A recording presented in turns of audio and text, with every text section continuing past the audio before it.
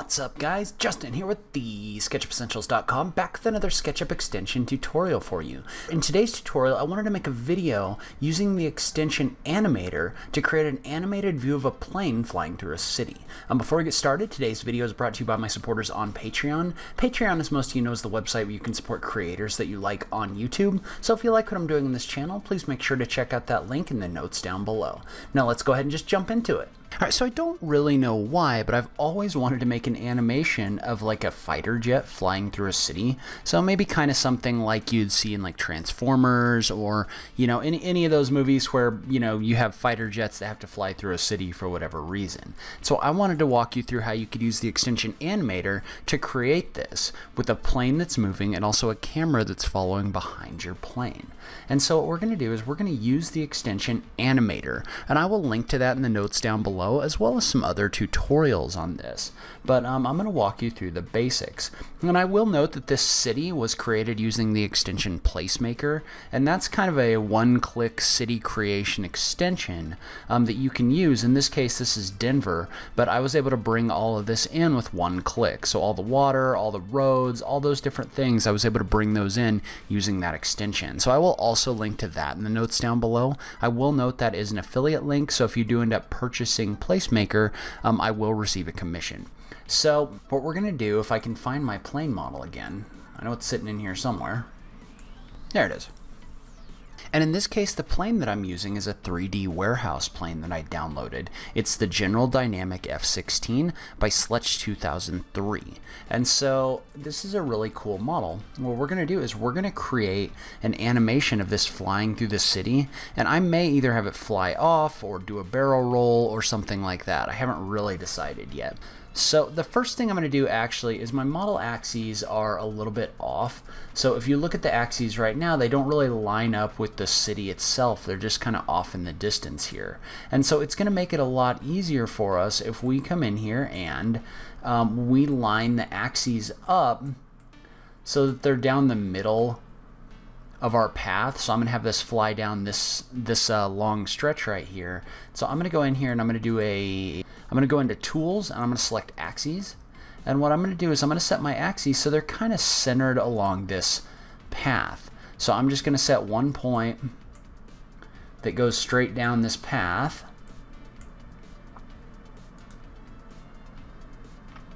And then I'll set the other one off to the left so that my up and down goes this way. So now um, everything will kind of inference to the axes a little bit better. You can see how now I can move this along the green axis to kind of center it along this uh, path that we want to take this down. All right, so the first thing we're going to do is we're going to add a unit movement. And so that's going to be this little blue box over here under the insert sequence function. And so we're going to click on that and then we're going to click the option for new movement. Well, what that's going to do is that's going to allow us to add a movement into our model. And the first thing it's going to ask us is which group do we want to move. So in this case, you're going to mouse over your fighter plane. You're going to click on it. And in this case, I'm going to select the one, which is the group that contains my entire fighter plane, so I don't want this uh, first option because it's only part of the plane. You want it to be the whole object. So we're going to go ahead and click on that. And and then the next thing it's going to do after you select this is it's going to ask you what kind of translation or movement you want to add in here. Well, in this case, we just want to add a simple translation. So we're going to click on this object, and it's going to ask us for a start point. So in this case, I'm going to click right here where my plane starts, and then it's going to ask for an endpoint. So in this case, I want my endpoint to be all the way right here out of work fine.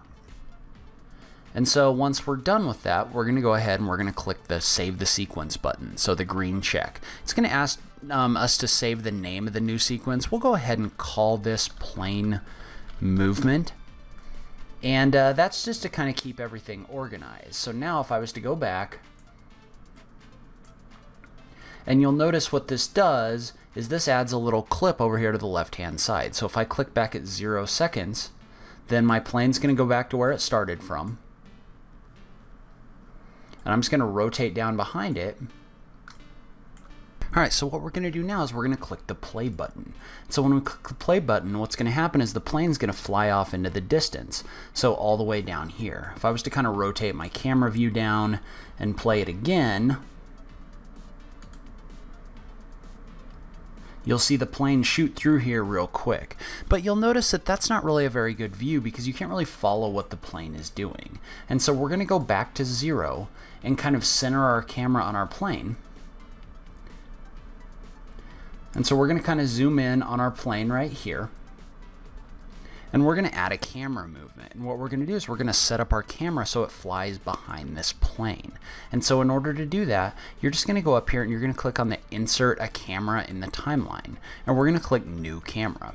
What that's going to allow us to do is that's going to create a camera that's going to set where our view is at this point in our timeline. And so in this case, I'm just going to kind of rotate in here so that I can see my plane, so it's a good view of my plane, and I'm just going to click the option for Capture Current View Camera. And then we'll go ahead and click the checkbox. So that's going to be our first view, and then our second view is going to be, we're going to scroll down to the two seconds in the timeline off to the left, and we're going to insert a second camera. And in this case, what we're going to do is we're going to zoom in, and we're going to set our second camera at two seconds, to be looking at this as well. So we're going to do new camera. And we'll go ahead and zoom in on our plane.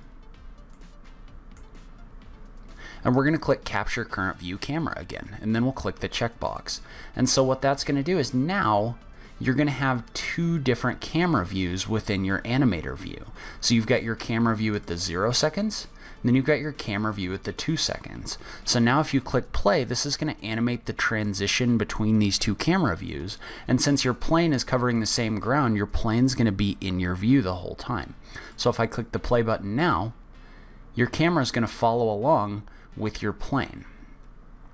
And so one thing I'm noticing about this is, first of all, it's not a very long clip. So I'm probably going to go in here and I'm going to click on my first clip, and I'm going to set my duration to maybe 4 seconds instead of 2 seconds. And in addition to that, I'm also going to click on this camera view off to the left-hand side, and I'm going to click that I want that camera view to also start at 4 seconds. So that's going to move over here as well. So now, if we go back and we play this, we've doubled the length of our animation. And so now we've got this animation where we're following this fighter plane through the city. And so one other thing I want to do, and you could you could add a series of clips after this as well. So if you wanted to maybe follow it out of the city up into the sky or something like that, you could definitely do that as well. The one thing I want to do is in the middle of this, I want to insert another movement. So probably at about two seconds, what I want to do is I want to insert a movement of a barrel roll. So this plane kind of flipping around in a circle. And so in order to do that, I'm going to go ahead and set my timeline to two seconds. And then I'm going to come up here and I'm going to add a new movement. And in this case, I'm just going to click on the button and then click on new movement. And it's going to do the same thing where it asks me what object I want to move. So I'm going to click on my plane and I'm going to select the fighter plane. And in this case, I'm going to add a, I'm going to add a spin. And we'll just click on the rotation angle and set it to 360 degrees. And then we'll click on the green check mark. And then we're going to click OK. And so now, if we were to play our animation again, this is going to follow our plane through the city and it's going to do a 180 degree or 360 degree rotation. So, and the nice thing about this is we can actually take this and kind of move it back in our timeliner by clicking and dragging. So I can set that so it kind of does that rotation in the middle of my animation. So now if I click back up here again and I click the play button, we're going to follow our plane through the city. It's going to do a 360 degree rotation and then keep moving. And the other thing we could do if we wanted to is we could make the duration of the flight a little bit longer. So we could make this like a six second flight, and that's not really going to affect your spin in this case. The only thing you need to make sure that you do is you set your camera view time at the correct time as well. So if my overall duration is six seconds, then the second camera view needs to be set as six seconds as well. So then I'm going to go back and we're just going to hit play one more time. And we've got our 360 degree view. And then we finalize right here. So, and then you could take this and you could do whatever you want with it. In this case, I'm going to export this to a video. And so we're just going to go up here and we're going to click on the option for generate a video for film. And so in my case, I have a plugin installed. Um, I think it's called FFmpeg, and uh, that allows me to create actual animations in this case. So if you don't have that installed, this is just going to give you the option for the images sequence. Well, in this case, um, if you have that installed, you can select something like MP4. And I will link to a tutorial down below where I talked a little bit more about that. Um, but we can also come in here and set different things like our frame rate and our speed factor and also the dimensions of the video we're creating. And in this case, I'm good with all of this stuff. If you look, um, this tells you the number of frames that it's going to have to create because it's going to have to basically spit out every single one of these images and then stitch them together to create a video. Um, and the only thing I'm going to do is I'm going to click on a test image and what that's going to do is that's going to give me a test view of what this animation is going to look like. And I may up my frame rate to something like 30. It's probably not going to be that big of a deal, but then we'll go ahead and give this a try. And you can go ahead and set the name of your video. So we'll call this plane animation, and we're just going to click generate video. And what it's going to do is it's going to walk you through, or it's going to walk through and it's going to export all of these different frames. And depending on how fast your computer is, this may take um, a little bit. So in this case, it kind of gives me a preview saying this is going to take 3 minutes and 11 seconds to spit all this out. So I'll speed this up in the video.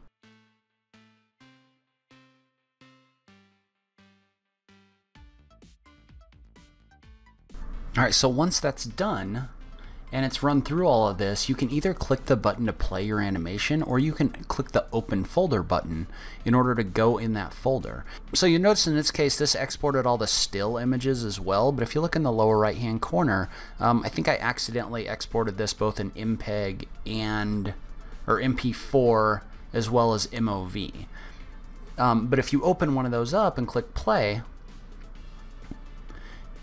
you can see how you've got this full animation in here of this plane flying through the city. So once you get an idea of the basics of this, then you can go through and you can create some really cool stuff. So leave a comment below, let me know what you thought. If you liked this video, please remember to click that like button down below. If you're new around here, remember to click that subscribe button for new SketchUp content every week. If you like what I'm doing in this channel, please consider supporting me on Patreon. And as always, thank you so much for taking the time to watch this. I really appreciate it, and I will catch you in the next video. Thanks, guys.